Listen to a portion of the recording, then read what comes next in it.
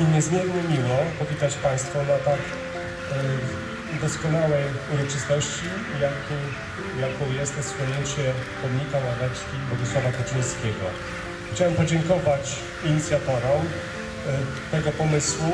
Chciałem też zwrócić uwagę, że Bogusław Kaczyński jako szczególna postać związana z naszym miastem zasługuje na to, żeby w odpowiedniej formie pamiętać e, tę osobę i uczcić. Pomnik Bogusława Kaczyńskiego. Pomnik znakomitego artysty, krytyka, człowieka, który nauczył miliony Polaków cenić muzykę operową, cenić kulturę wysoką.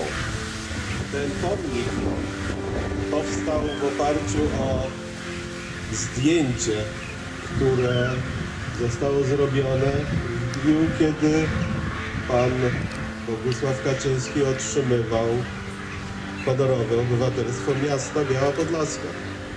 Widać na twarzy zadowolenie, radość, ale też i dumę.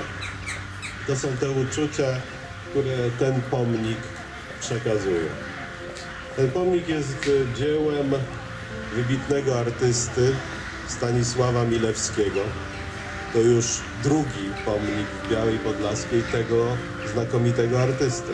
Dziękuję serdecznie panu senatorowi Bielskiemu, dziękuję całemu komitetowi społecznemu, dziękuję wszystkim osobom zaangażowanym w ogóle w ten pomysł, w ideę, no i w budowę samego pomnika.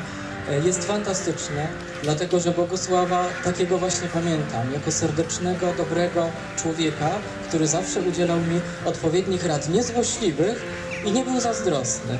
I muszę przyznać, że kiedy prowadziłem e, z drżącym sercem galę e, za Bogusława Kaczyńskiego w sali kongresowej w Warszawie, kiedy już był chory, kiedy oddał mi na przykład galę sylwestrową do poprowadzenia, a sam zasiadł na widowni i tylko powiedział wstęp i zapowiedział mnie, serce drżało coraz mocniej. Dzisiaj też mi serce drży, ale ze wzruszenia i y, ze szczerego też podziękowania, że po pierwsze mamy tu pomnik wielkiego człowieka, wspaniałego patrioty, człowieka, który dla którego y, Bóg, honor, ojczyzna były niezwykle ważne i miłość do sztuki.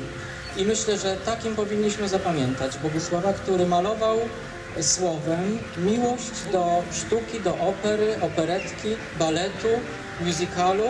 E, Tworzył wspaniałe festiwale i my jako Fundacja Orfeo imienia Bogusława Kaczyńskiego w Warszawie razem z prezesem Zbigniewem Napierało chcielibyśmy kontynuować jego misję.